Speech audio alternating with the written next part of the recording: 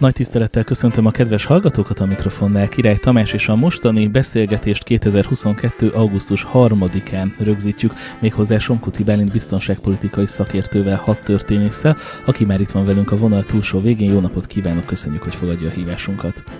Jó napot kívánok, üdvözlöm a hallgatókat! Somkuti Berlintel egyébként múlt héten is közzétettünk egy felvételt az orosz-ukrán háború, illetve a kínai-tájváni konfliktusnak az aktualitásairól. Ezt a videó leírásában megtalálják, és ahogy már akkor is ígértem önöknek, most egy kicsit elemzősebbre fogjuk fogni a történetet, vagy nagyobb összefüggésekben fogjuk megvizsgálni az eseményeket. Méghozzá az amerikai és a kínai hadihajókról és hadiflottákról fogunk elkezdeni beszélgetni, aztán majd nyilván sok más más dolgot is érintünk. Azért is érdemes ugye talán ezről beszélni, mert egyrészt mind az USA, mind a Kína, mind Kína nagyon-nagyon fejlett országok, és mindketten folyamatosan fejlesztik a haderejüket, folyamatosan fejlesztik technikailag is a különböző eszközeiket, és a múlt heti kínai-tájvani konfliktus is megmutatta azt, hogy bizony itt bármi történhet még a következő időszakban. Szóval mennyire kell akkor aggódni, amikor mind a kínai, mind az amerikai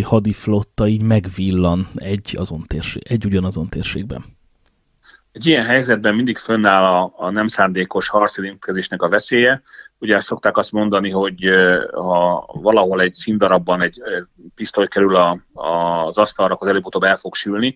Ilyenkor azért, a, különösen akkor, hogyha a feszültség elég magasra hág, akkor megvan az esélye egy vétlen összecsapásnak, de hát itt azért profikról beszélünk, tehát normál esetben egy ilyen véletlen összecsapásnak alacsony kellene, hogy az esély legyen. Nagyobb a gond akkor, hogyha mind a két politikai vezetés elszánta magát arra, hogy egy fegyveres konfliktusba beleáll és, és belemegy, modern háborúknak az a jellegzetessége, hogy szinte az összes hadművelet egy úgynevezett összfegyvernemi hadművelet, tehát nem lehet azt mondani, hogy csak a flotta vesz benne részt, hanem ugyanúgy részt vesznek benne a különböző felderítő műholdaktól kezdve a légierőn át egészen a tengeralattjárókig. Tehát egy nagyon összetett területről beszélünk, ahol több egymásra ható erő is dolgozik folyamatosan. Akkor talán egy kicsit részletesen is beszélhetnénk arról, hogy ilyenkor ez erőfitoktatás, meg a technikai arzenálnak a felvonultatása, vagy valójában ez egy teljesen logikus lépés, és uh, ugye itt most például Nancy Pelosi látogatásánál vonultatott fel mindenki mindent, ilyenkor ezt így kell csinálni. Gyakorlatilag, ahogy múltkor is beszéltünk róla, a a különböző diplomáciai lépéseknek a súlyát, a komolyságát, azt mindig a, a támogatásra felvonultatott, katonai erő az, amelyik megadja. Tehát ha valaki mond valamit, és nem tesz mögé katonai erőt, vagy gazdasági erőt bizonyos szempontból, akkor igazából az üres szónak minősül. Tehát abban az esetben, hogy tényleg szinte példátlan módon amerikai katonai erőknek kellett a biztonságát szavatolni egy amerikai, ráadásul magas beosztású politikusnak, ez azért egy elég komoly szándékot feltételez, különösen úgy, hogy a, a csendes óceán és indiai óceánért felelős amerikai hetedik flottának a jelentős része gyakorlatilag megjelent ebbe a térségbe, hogy ezt a fajta lépést katonai is alátámaszza. Beszéljünk egy kicsit erről a flottáról, mert nyilvánvalóan önök hat történészek nagyon jól tudják, hogy mi az, hogy flotta, meg hogy ez hogy áll össze, meg, meg minden, de hogyan lehetne elmagyarázni egy átlag embernek, hogy megértse, hogy pontosan mi is az a flotta, és milyen jelentősége van egy hadseregen belül? A flotta az egy szervezeti egység, a haditengerészeti erőknek egy szervezeti egysége, Ugye beszélhetünk kereskedelmi flottáról is egyébként ugyanúgy, de itt kifejezetten haditengerészeti flottákról beszélünk. Az Egyesült Államok, mint globális felelősséggel rendelkező hatalom, egy viszonylag egyszerű módon régiókra osztotta fel a világot, ahol a második flottának a felelőssége az Atlanti óceánnak körülbelül a fele, a harmadik flottái a, a, a mondjuk úgy az Egyesült Államoknak a nyugati partja, a negyedik flotta a Dél-Amerika és Közép-Amerikáért felel, az ötödik flotta az a, a Perzsa és térsége, ez is mutatja éppen a jelentőségét ennek a területnek, a hatodik flotta az az Atlanti óceánnak a fele gyakorlatilag is a földközi tenger, míg a hetedik flotta az lényegében Kelet-Ázsia, illetve mondjuk így, hogy Japántól Ausztráliáig terjedő vonalban működik. Ez azt jelenti, hogy ez gyakorlatilag egy üres, mondjuk egy konténerként kell elképzelni, amiben a, meg, a helyzetnek megfelelően töltögetnek bele katonai egységeket, tehát például, ha nő a feszültség a, a, az ázsiai térségbe, akkor átvesz, átvezényenek a harmadik, második, vagy akár a, a negyedik flottától további alakulatokat, további hadihajókat a hetedik flottához. Az, hogy ezek a flották olyan felségvizeken is eveznek, amely nem Amerika területe, egyáltalán ez így van-e, az hogy valósulhat meg? Elméletileg a nemzetközi jog az viszonylag pontosan meghatározza, hogy melyik területet, melyik felségvizeket valhat magáénak az adott ország. Ugye van a, a 12 tengeri mérföldes, tehát körülbelül 20 kilométeres zóna, amely egyértelműen az adott ország felségvízinek tekintendő, és et, ezen kívül pedig bizonyos szempontokból az úgynevezett shelf, tehát a, a tenger alá benyúló szárazföldi talpazat, illetve egyéb szempontokból szoktak maguknak országok úgynevezett kizárólagos gazdasági övezeteket kisajátítani, vagy, vagy megnevezni, amit aztán nem, nemzetközi jog alapján vagy elfogadnak, vagy nem. Itt ebben az esetben egyébként az a különleges, hogy jog szerint Kína egy szakadák tartománynak tartja Tajvan, tehát nem ismeri el semmilyen szempontból független államnak. Így azt mondja, hogy bárki, aki tajvani felségvizekre hajózik, az gyakorlatilag az ő felségvizeit sérti meg. Amikor ilyen flottákról hallunk, akkor ők mire képesek katonailag? Kérdezem ezt azért is, mert pont most az amerikai flotta esetében azt mondták, hogy csak ideiglenesen állomásoznak ott, de egyébként meg, hogyha valami probléma van, akkor hosszú ideig képesek arra, hogy ott maradjanak. Szóval ez hogy néz ki a gyakorlatban? Hány katona van rajta, hogy van az ellátás, és meddig bír egy flotta ott lenni a semmi közepén sok esetben? Ez, ez azért nagyon jó kérdés, mert rávilágít arra a problematikára, amit sokan el szoktak felejteni hogy egy harcoló erő az sosem a harci egységeket jelenti kizárólag, hanem a logisztikai utánpótlást, a logisztikai ellátást végző egységeket is. Ezen a területen az amerikai flotta történelmi okokból és a méretéből kifolyólag óriási előnyben van.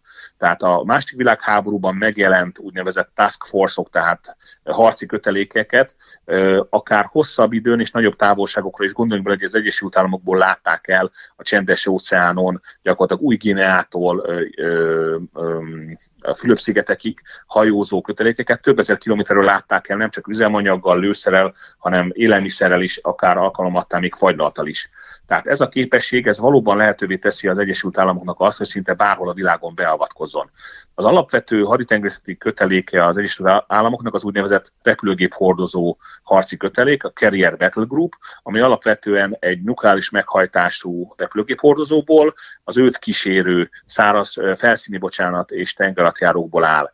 Érdemes ö, ö, a méretek szempontjából ö, talán érdemes megemlíteni, hogy egy ilyen repülőgép hordozó akár 300 ö, méter hosszú is lehet, sőt több mint 300 méter hosszú is, körülbelül 5-6 ezer ember dolgozik a fedélzetén, egy kisebb városi ember dolgozik a fedélzetén, és 70-80 rendkívül modern repülőeszköz állomásozik rajta, ami alkalomattán a legtöbb államnak erősebb, mint a légiereje, a teljes légiereje. Na most ezt egészíti ki egy-két légvédelmi cirkáló, kísérőrombolók, négy darab kísérőromboló, és egy-két darab nukleáris meghajtású vadásztengeratjáró is. Ez azért elég komolyan hangzik, tehát uh, nyilvánvalóan akkor feltételezhetjük, hogy uh, tulajdonképpen tudnak eldönteni harcokat uh, ezek az eszközök, vagy ezek az infrastruktúrák. Igen. Gyakorlatilag az Egyesült Államoknak jelenleg 11 darab ilyen köteléke van, amelyet a különböző flották között szétszórva állomásoztat. Uh, annyit érdemes hozzátenni, hogy számos esetben már a hidegháború alatt is elég volt egy-egy ilyen flotta kötelék megjelenése, vagy hordozókötelék megjelenése az adott ország partjainál ahhoz, hogy a, az ellenségeskedések lejjebb hagyjanak, hogy alkalomattán például mondjuk, amikor 98-ban bombatámadás érte az Egyesült Államok kenyai nagykövetségét, akkor a Szudánra egy ilyen flottakötelékről mértek csapásokat, amely gyakorlatilag Osama Bin Laden Szudánból való elmenekülését eredményezte. A felszereltségen túl ugye az emberállomány nagy kérdés, mondhatjuk, hogy ezek az USA-nak gyakorlatilag a legképzettebb katonái? A, haditengerészetnek az a különlegessége, hogy egy-egy ilyen bevetés több héttel, akár több hónapig is terjedhet. Például a csapásmérő nukleáris balisztikus rakéta hordozó tengeralattjárók 90 napos előjátokon vannak, amikor minimális a kommunikáció, a, a parttal és a, az otthon maradottakkal. Ebből kifolyólag ez egy igen magas kiképzettségi szintet feltételez. Ez az a típusú ö, jel, tulajdonság, amit nagyon nehéz mérni, de a tapasztalatok és az előzmények alapján joggal gondolhatjuk azt, hogy az Egyesült Államok flottája legkiképzettebb és legfelkészültebb az összes többi közül. Mi a helyzet a többi nagyhatalomnak a hadiflottájával, akár Kína vonatkozásában gondolok erre, erre, illetve sokan szoktak beszélni az orosz hadiflottáról is. Mi a helyzet ezekkel? Abból a szempontból érdekes a szituáció, hogy az Egyesült Államoknak, ugye, ahogy említettem, a flottáknak a felosztását globális felelősségvállásra van. Tehát akármennyire is erős az amerikai flotta, azt nem tudja megtenni, hogy a teljes erejét vagy az erejének a túlnyomó részét egy területre összpontosítja. Ugye jelentős előny volt az Egyesült Államok számára az az elhelyezkedés, ami távol teszi őt a, a nagyhatalmi erő gócpontoktól, illetve gócpontoktól, illetve az, hogy neki igazából csak két területre, a csendes óceán, illetve az Atlanti óceánra kellett legalábbis eleinte fókuszálnia. Ugye ezzel szemben érdemes megnézni Oroszországot, amely kénytelen legalább három-négy flottát föntartani, ugye a csendes óceánit, a Fekete-tengerit, a Balti-tengerit és az Északi-tengerit, illetve még a Kaspi-tengert is ide szokták számolni. Tehát gyakorlatilag a földrajzi adottságok miatt az orosz flotta szinte képtelen arra, hogy összpontosítsa az erét. Ugye ez a Csúzimai csatában nagyon jó kiderült, amikor a csendes óceáni flotta veresége után a Balti-tengeri flottából, illetve a Fekete-tengerről átvezényelt hajóknak gyakorlatilag Afrika megkerülésével kellett Japánig hajózniuk. Kína esetében megint csak hasonló a helyzet, ugye itt lényegében egy hosszú folyamatos partszakaszsal rendelkezik, amelynek a védelmére könnyen tudja összpontosítani a teljes flottáját, különösen úgy, hogy nincsenek igazából jelenleg legalábbis még globális védelmi, vagy megvédendő, globálisan megvédendő területei. Úgyhogy a, a, a létszám szempontjából a kínai flotta kezdi megközelíteni az amerikait, viszont a földrajzi ö, környezet mindenképpen mellettük szól. Az orosz hadiflotta egy külön kérdés, mert gyakorlatilag a, a nukleáris rakétahorzó tengerátjáró kivételével szinte teljesen elhanyagolásra került az elmúlt 30 évben a Szovjetunió összeomlása óta. Ott egy nagyobb modernizációs folyamat indult meg 2011-12 környékén, amelyet a viszonylag súlyos pénzhiány azért lelassított, tehát nagyon nagyszabású terveknél valósulta meg például az orosz egyetlen repülőgép hordozó a Kuznyecov évek óta szárazokban áll és felújításra vár, tehát, illetve például az a probléma, hogy a, a hajóknak a turbináit Ukrajnába gyártották, és 14 után nem érkeztek turbinák, ez arra szólította az oroszokat, hogy kisebb hajóegységek építésre koncentráljanak, azonban ezt a hátát is kezdik lassan feldolgozni. Az biztos, hogy az Egyesült Államok számára az orosz flotta semmiképpen nem jelent méretéből kifogó kihívást, a kínaiak is inkább a Kínához közeli vizeken jelentenek csak nagyobb problémát. De mondhatjuk, hogy például az oroszoknak nem a, had, a tengeri hadiflotta a legfontosabb ö, erőcentrumuk? Egyértelműen, egyértelműen Oroszország egy, egy szárazföldi hatalom, az ehhez kapcsolódó légierővel, tehát azt azért tudomásul kell venni, hogy a modern háborúk összességét összfegyvernemi módon vívják, tehát a légierő és az egyéb szempontok, mint például a felderítő műholdak, vagy a kommunikációs műholdak ugyanakkor a szerepet játszanak benne. Ezen a területen az orosz hangsúly egyértelműen a szárazföldi erőre összpontosul, viszont több okból kifolyólag nem engedheti meg magának, hogy a tengeren gyenge legyen. A amerikai hadiflottához képest mondjuk egy kínai ugyanilyen jellegű ö, infrastruktúrát, vagy nem is tudom mi erre a jó szó, mennyivel ö, kisebb bizalommal engednek be a nemzetközi vizekre? Kína alapvetően fokozatosan építette a flottáját az elmúlt 30 évben, és egy partközeli úgynevezett brown water, tehát jellemzően partközeli, illetve folyó vizekre specializált flottából fokozatosan építette föl a, a mélytengeri flottáját. Kisebb bevetésekre már mentek kínai harci kötelékek, általában egy rombolóból, egy fregatból és egy ellátóhajóból álló kötelékeket küldtek kalózkodás műveletekre, illetve számtalan egyéb területre itt mindig tudomásul kell venni, hogy a, a, a, a hadiflotta az önmagában egy politikai üzenet. Tehát az a tény, hogy Djibouti-ba például létesült egy, egy kínai hadiflotta, igaz, hogy kicsi és relatív gyenge a környéken lévő amerikai flottához, illetve a szinte nem messze lévő franciához képest is. Ez, ez azt jelenti, hogy megjelent tényezőként a, a térségbe. Ugye említettem, hogy a hadiflottának a harcoló erőink kívül ö, kell, hogy rendelkezzenek támogató erőkkel is, vagy infrastruktúrával is, ahogy említette. Ebben az esetben az infrastruktúra bázisokat jelenti, ahol ellátmányt tudnak fölvenni a hajók, a víztől kezdve az, az élelmiszeren át akár a lőszerig, illetve azokat a kiszolgáló ellátóhajókat, amelyek a tengeren is képesek őket ellátni. Ebben a szempontból ugye azért a kínai flotta azért még hátrányban az amerikaihoz képest. Zárója bejegyzem hogy nagyon vicces neve van a kínai flottának, mert a, a népi felszabító hadsereg hadiflottája névre hallgat. Hm.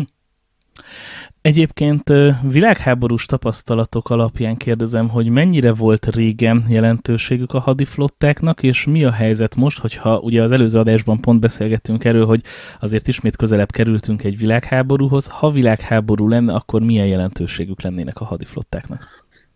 Kevés ismert, én különösen Magyarországon, mint, mint szárazföldi országban, hogy a, a világkereskedelemnek közel 80-90%-a tengeren zajlik és a történelemben a flották az alapvetően a technológiai jellegétől függően vagy a szárazföldi hadsereget támogatták abban az időszakban, amikor még evezés hadihajókról beszéltünk.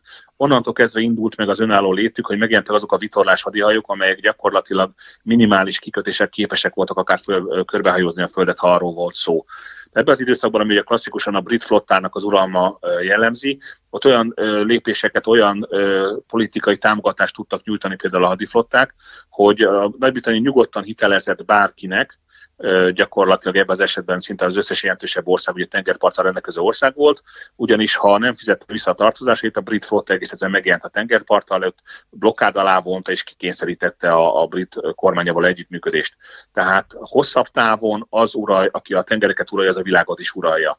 Éppen ezért aggasztó, hogy vannak bizonyos jelek, amik arra mutatnak, hogy az Egyesült Államok hadiflottája egyre kevésbé alkalmas erre a feladatra. Láttuk azt az elmúlt években pont kereskedelmi szempontból, hogy történt sok-sok érdekes dolog, tartályhajó elsüllyesztése, tartályhajó vagy szállítóhajó keresztbe áll bizonyos helyeken, és lebénul a virágkereskedelem. Szóval sok ilyen történet volt. Ezekhez, me- tehát hogy itt van-e közük ezekhez a hadiflottáknak, akár védelmi szempontból, akár tehetnének-e bármit, hogy ezek a dolgok ne forduljanak elő? Hát nyilván a, a azt hiszem Evergreen nevű hajónak a baleset, amikor keresztbe fordult a, a, a Suezi csatornában, az valószínűleg egy véletlennek volt köszönhető, de mondjuk adott esetben egy hadihajó ö, beállna oda, vagy mondjuk esetleg elsüllyesztenének ott szándékosan egy, egy hasonló méretű hajót, az nagyon komoly fennakadásokat tudna okozni. Ugye ne, nagyon kevéssé van erről szó az utóbbi időben, hiszen a, a hidegháború 30 éve elmúlt, de az Egyesült Államok flottának egyik legfőbb gyengeség az pont a kísérőhajókban nyilvánul meg. Korábban volt egy Oliver Hazard Perry nevű rendkívül jól kitalált és kialakított fregat osztály szolgálatban, amelynek pont ez volt a feladata. Tehát a, a, a klasszikus hidegháborús forgatókönyv az úgy zajlódott volna, hogy a Szovjetunió vagy a Varsói Szerződés megtámadja Nyugat-Európát, ekkor az Egyesült Államok jelentős méretű erősítés dobát az USA-ból a nehéz technikát hajókon, a személyzetet, tehát az embereket pedig repülőgépeken szállítva, és a, az igazi döntő ütközete ennek a hidegháborúnak, ennek a hidegháborús forgatókönyvnek, az pont az Atlanti-óceánon zajlódott volna le, hogy a szovjet flotta, illetve hát a kisebb mértékben a szövetséges flották meg tudják-e akadályozni, hogy ezek az erősítések beérkezzenek az európai területekre. Na most hasonló problematikára évtizedek óta nem volt probléma, ezért a legtöbb ország, a legtöbb nyugati ország a csapásmérése a, kifejezetten a hadihajókra, tehát a támadó hadihajókra helyezte a hangsúlyt, és kisebb mondjuk így figyelmet kapott a kísérő egységeknek a szerepe. Na most a hadiflottának mindig is kiemelt szerepe volt a kereskedelmi hajóknak a védelme. Ebben az esetben, és mondjuk tegyük fel, kirobban ne Isten egy amerikai-kínai háború, ebben az esetben hosszabb távon azt fogja eldönteni a küzdelmeket, nyilvánvalóan remélik atomfegyverek bevetése nélkül, hogy ki képes a másik oldal kereskedelmét annyira meggyengíteni, hogy az végül az ország összeomlásához vezessen. De akkor elmondhatjuk azt, hogy a hadihajók nyilván azon túl, hogy különböző támadó hadműveletekre is képesek, akár a tengeri forgalmat azt, ha mondjuk egy háború alakul ki, akkor meg tudják bénítani? teljes mértékben.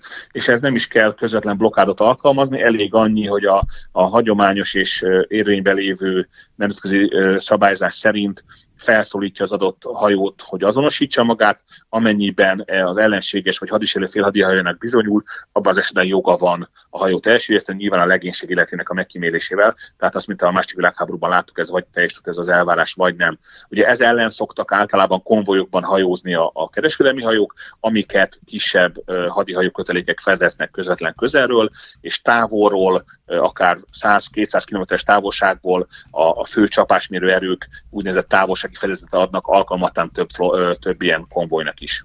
Azt hogyan lehet, hogy megkímélik a legénység életét, hogy bemondják, hogy jó napot kívánok, most a hajót el fogjuk sülyezteni, önök legyenek kedvesek leszállni, itt vannak a mentőcsónakok, aztán jöjjenek fel hozzánk és fogjuk, vagy hogy történik ez a gyakorlat? Normális, de így kéne történjen, tehát a, a, a, az érvényes szabályok szerint ez lenne a menete. Ugye akár tengeralattjáról beszélünk, ahol erre nincs lehetőség, akár az óceán kellős közepén lévő hajókról, ahol mondjuk alkalmatlan nagyon bonyolult fölvenni a, a hajótörötteket, ez nem mindig valósult meg, de, de az elmélet ez lenne.